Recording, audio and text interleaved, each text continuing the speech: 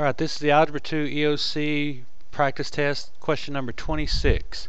It reads, the graph shows average monthly precipitation data for Spokane, Washington and Bakersfield, California. And as you can tell, we got a nice pretty little graphic in here. And the question is, which statement about the data shown is true? So let's take a look at our choices. Spokane has a greater range of precipitation values than Bakersfield. Well, the first thing we've got to look at is what is domain and what is range. And one thing I like to say is always follow the doctor orders. And that would be D and R, which is X and Y. And since we're looking for range, we're looking at the y values.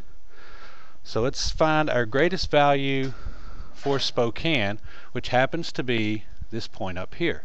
And Bakersfield's highest point is about right here. And if we notice our range, this is about 1 and this is a little more than 2.5 which gives us a range of approximately 1.5.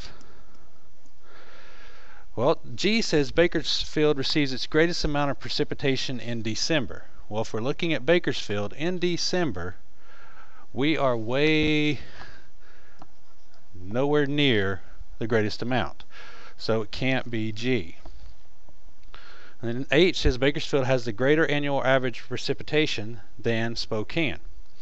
Well, if we notice greater average, if we look from our lowest to our highest point, that's a pretty wide range. But if we look at Bakersfield, it's not spread out as much. So there's not a greater percentage. And if we look at J, Spokane receives the greatest amount of precipitation in January. Well, looking at Spokane, it's not the highest number. December is. So by process of elimination, F is our answer. So anytime you're working problems like that, it's always good to go through and check all of your answers just basically by just looking at the graph and seeing what's going on. So thank you and good luck. Okay, I, going back to this question, I just thought of a different way to explain H for the annual average precipitation.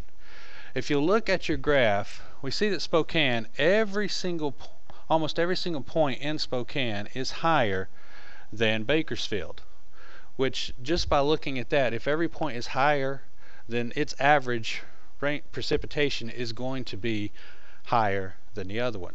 So that would be a better way to look at that than trying to look at what I explained earlier, which is range, which probably confused half the people since we talked about range earlier. So hope that helps.